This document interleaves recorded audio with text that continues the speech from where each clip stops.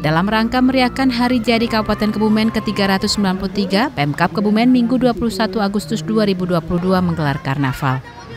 Karnaval selain menampilkan pasukan bendera merah putih dan paski beraka, juga diikuti Bupati Kebumen Aris Sugianto dan Forkopimda yang menggunakan kuda dan kereta kuda.